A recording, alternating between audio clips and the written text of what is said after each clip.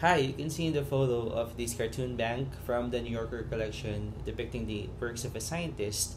By definition, a scientist is a person who is studying or has an expert knowledge of one or more of the natural or physical sciences. And at this point, they knew that it's addictive. And this photo coming from the Vox magazine telling us um, that citizen science, an emerging field of science, is booming during the pandemic. Uh, from backyard astronomy to birding, amateurs have been busy collecting data and making real discoveries. And in connection to today's convention, the 56th BIOTA National Convention, and scientific sessions, and the 28th biennial conference of the AAB, I am here to present to you my research entitled Designing Citizens of Science and Project Based Learning blast Plus One Pedagogy Modules in Learning Philippine Ecology and Biodiversity. I am Stephen Kapilitan, MST, from the De La Salle University in Manila. Just a, just a quick background about the presenter. I am the founder of the Citizen Plus Philippines, also a member of the Global Youth Biodiversity Network, and currently a distant biology student of the DLSU Manila. Some of my researches are focusing on conservation science, systems thinking, uh, the case study approach, and also in, in, in biodiversity education. So, what you're seeing in the background is a remnants of the past. These are animals, plants that are becoming extinct and brought to us the natural ecosystems disturbance. And here we go. We have experienced pandemic. It brought to us limited workspace. It has came to the point where in um, all conferences were held virtual. And since we are restricting the the spread of the virus, uh, I think this uh, the, the digital age has been promoted in in many different subfields in many different aspects because um, promoting the use of digital media into conservation science is a new tool to us educators, especially in the biology field because as you can see, not all superheroes have superpowers and wear capes. Some just go about their daily routine of conserving the web of life. And this is the advocates. I am an advocate of um, the mainstream biodiversity, and I also have to help the people understand the web of life and the importance of life. And we are now hunting heroes against extinction, and this Citizen Plus Philippines was the um, revolutionary movement for us to, you know, inform everyone, not just for science majors, not just for teachers, educators, and students, but also for the common public that we need to understand that the earth needs to breathe, that the earth is changing, and all of a sudden, we might be losing some of our precious creatures that we are um, used to see before. And this platform is not um, available in in, uh, in Facebook, in Twitter, in Instagram, and yeah, just to give you an insight about what citizens uh, science is and how biodiversity in the Philippines was being maintained.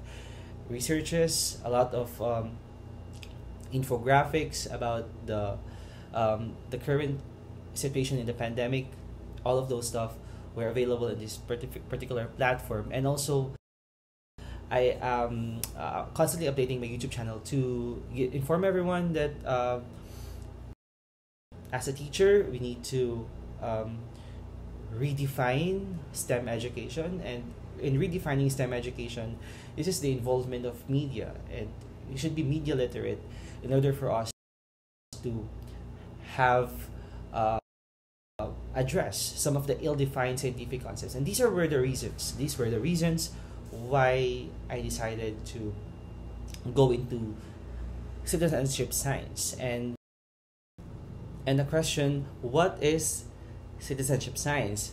This is the involvement of the public amateur students teachers non-science majors into some of these scientific um, works, researches, endeavors, and all of that. Uh, just simply contributing to, to, to, to research. And as we all know, the, the, the, the common status quo of a scientist is that they are held um, they're holding their laboratory microscopes they're inside the laboratory wearing um, their gowns and constricted to a certain place. And they and we also have this misconception of them being weird. But this is revolutionary because we are trying to make use of the people just to participate in science. If you are if you love bird watching if you are into um, collecting data from the nature or using your tools your your applications then you can be a part of the citizen science, citizen science. And this is an emerging field since in the US we they have a lot of uh, projects that are being held online. Uh, yeah you, you can see that they said citizen scientists are the building tools for the future. We have looking for projects and if you want to see some of them they're available in uh, the SciStarter there is also a zooniverse that could help people powered research. There's a lot of um, featured projects that you could be getting involved with in in the US and all the western countries. In the Philippines in the case of the Philippines um, they have started okay this projects of your citizen science. Um, one of this is uh, part of a understanding the relationship between the volunteers motivations and learning outcomes of the citizen science in a rice ecosystem so this is these are these were the participants of the study and this was a long time ago this is 2018 um, another recent challenge that was being done in Davao City, the iNaturalist study. Okay, this is using an application named iNaturalist. They have explored the Davao City's urban biodiversity and placed the city in the global map of biodiversity. So they have used this BioBlitz. This is a fun, intensive, short study of um, biodiversity in a specific place where they have to look for any organisms that are available in that area. And yeah, they can use this iNaturalist just a track, okay? This is a, a repository that are that is available online. You just have to look for like uh, class or genera of um, organisms that you want that you would like to study, and this is the map of observations that are be that is being um, traced and being founded by this group of people from um, Davao City and this this was highlighted in the iNaturalist BioBlitz activity. And these are just photos of the BioBlitz 2020 held in Mount Apo in Davao region. You can see that the the kids were they they, they have oh, they went into the, the jungle in the nature during the pandemic and it's a really nice uh, way to escape the the, the the Zoom fatigue that they're experiencing in. Um, yeah, it's it's really um, enjoying to see the people who is participating in science, but we could be involved even though we are in the urban setup because um, there are a lot of projects that is being done by the Haribon Foundation. This is being uh, this is held being every July eighth weekend of every year this is Birds in the City, and um, it aims to raise awareness on urban birds that are shared need for the green areas, and um, they are giving out these particular bird guides in the birds in the city list. This is available in the Haribon Foundation, and this is where being used by for uh, students in Ateneo de Manila University. Birds in the city you just have to go and find them, choose a place, choose a date and time, count for 30 minutes, and upload. Simply because there are a lot of instances where we are confused with what is a cryptic species, okay, and then their emergence. Um, especially in birds, especially in, in some insects and butterflies.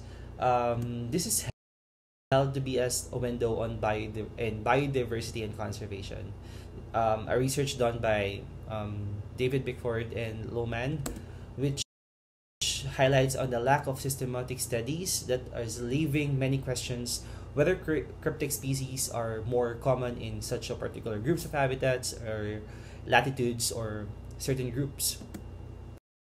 And we're trying to uh, make uh, a um, bridge the gap. Okay, we're trying to bridge the gap between the confusion that is being held in some lit- literature, and this is my goal as a researcher when I made this um, research, this eBird Essentials, uh, highlighting the use of eBird as an online database for bird enthusiasts, scientists, and also for amateur naturalists. This was from National Geographic and California Academy of Sciences. Um, both of these were CitSci tools, and simply you, when you do science classroom eBird um, observations, you have to document your observations using your smartphones. You share it with the cloud, with your fellow naturalists, and you deliver your results. And in the Philippines, this is constantly updating. This is eBird. Okay, you can see that when, when we search Philippine Eagle, uh, we have highlighted some places in Mindanao and some parts of Luzon where the, the Philippine Eagle was spotted. Well, these were just some of the artworks from the respondents of my study. They have made um, some of like th- these caricatures of birds and their scientific names, where are they found, biodiversity areas, okay, and what are the roles of these organisms in a specific type of habitat and in the entire ecosystem. And one of my goals in my research is to localize instructional materials. This is so much fun because we I am researching and looking out for some problems issues in the Philippines concern, concerning biodiversity and introducing it to a an urban classroom in Cubao, Quezon City uh, is really a, a breakthrough I think because they haven't been involved in, in any of these citizen science activities and also these instructional materials were con- uh, were the concept of my research okay? The, the instructional materials were made by me following a specific um, framework about citizen, citizen science and the plus one pedagogy PBL creation. And this is just the highlight of the Philippine key biodiversity areas by ecosystem coverage. This is really big six times big as New York Metro three times times as big as Tokyo City, Japan, 35 times in Bangkok, Thailand, and there's a lot of key conservation sites in the Philippines, not just in islands of Luzon, we have also in islands in, of Visayas and, and Mindanao. And these were just um, the ESEP class of 2018 and their activities when they have um, involved in a particular activity uh, PBL, the project based learning modules from my research. They have like role playing and also me as a mediator of uh, the lecture series for this, particular subject, the biodiversity. Um, this is a project based learning pedagogy, and what is project based learning pedagogy? Is an interdisciplinary framework which is designed to elevate your consciousness, accelerate your achievement through the 21st century skills, and it builds your capacity for our nation's youth to compete in a global economy. It's just simply preparing them to uh, participate in, in the workplace and to achieve more, seeking for greater heights and reaching success. Technically, that's the plus one. And again, um, I follow this concept, this interdisciplinary with association of your citizenship science skills, accelerated achievement, and the plus one pedagogy, and following the, the standards of the K to 12 by DepEd. Some of the big ideas were also highlighted here because this is a teacher designed activity uh, when you focus on these uh, essential questions, okay, and um, project objectives. The students were the participants were introduced with this plus one topic modules, which is basically coming from the DepEd's curriculum, science curriculum, from ecosystems constituents, uh, mesocosm studies, cosmopolitan species, and uh, measuring ecosystem diversity and all of that, um, where the the overall subjects and lessons that are being intended for the grade 9 students in the science curriculum. On the other hand, this project-based learning modules is coming from the idea that uh, uh, the, the, eBird projects, okay, eBird projects, if trying to see what are the birds of the specific key biodiversity areas, then um, these modules will teach the students, okay, to formulate scientific explanations, to produce I wonder boards, creating their executive summary outlines and how they will propose their projects as if they are creating um, big projects okay specifically in in in um, bird watching. And these are the plus one topics. And i focused here in my presentation the cosmopolitan species which is highlighting the famous philippine tarsier. Here in a plus one topic module sample uh, highlighted cosmopolitan species and some of the questions like how does geographic isolation contribute to the emergence of your cosmopolitan species and all of that. These are being followed up with a learning activity hitting two birds with one story all of these um, guide questions. We're just introducing them how do they define discuss the species concepts. And some of reflection and commitment part uh, how would you help your conservationists to protect disruptions of your healthy ecosystems and also local Filipino farmers and their efforts to grow produce for the people? These are just snippets of the lecture presentation about Philippine tarsier and tropical paradise, some of the ecological regions in the Philippines. What happened, I introduced a pre-test before introducing the material to the students and I have measured also their post test score gains wherein um, majority of them I mean, like 80% did, did um, improved their scores from the pre-test after they have been introduced with the instructional materials. They were the, the IMs were analyzed through their objectives their content also with the format and language also with the presentation and usefulness by validators. And uh, some of these were um, weighed according to the needs of the students, and there are some recommendations that is being um, suggested by the panelists like, to design and to create more CitSci projects. This is what I'm telling you. Learning activities should be for outdoor setup since most of the activities were just indoors and for bigger population and covering all year levels uh, we have to focus more on the endemic invertebrates and for herpetofauna and all of that these were just suggestions from my research. And that's it. Um, the last question is do you want to be a modern hero for our philippine biodiversity? Well you must join me in this particular endeavor. Maraming salamat po and have a nice day. Thank you